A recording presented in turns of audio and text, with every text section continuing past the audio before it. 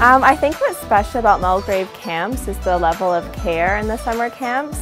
Um, and all the teachers are really passionate about making sure the kids have the best time they possibly can. The instructors in these programs have all played at least college level basketball and have experience working with kids for many years.